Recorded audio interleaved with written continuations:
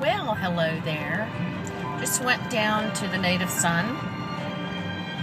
Got some um, got some salmon there. Really just kind of got over the fact that my favorite Publix, love the people.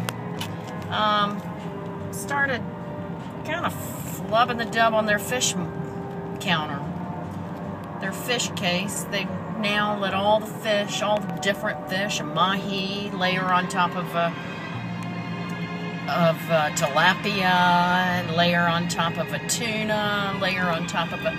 They just kind of layer them all there, and then throw in a big whole fish every now and then, and you know, right in the midst of it, like he's coming up out of the ocean or something.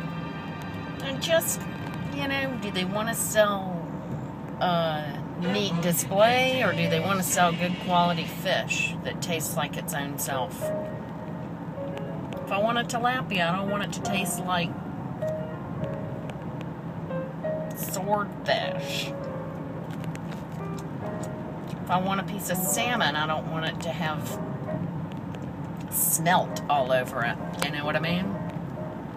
So, I don't know.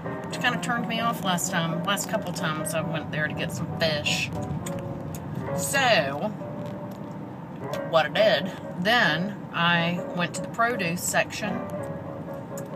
Several bags are just kind of coming open at the seam, and several pieces of produce are just rotten and ugly and not in good shape. And I hate that about my Publix because it.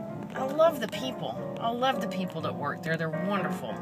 If I had to get a regular, real job, I'd want to be with those people all day if I couldn't be with Liz. But, um, so my thought is, they're kind of, the quality goes downhill. What do I do? What do I do? I can't afford to buy toilet paper at Whole Foods. What do I do? Love ya. I love ya.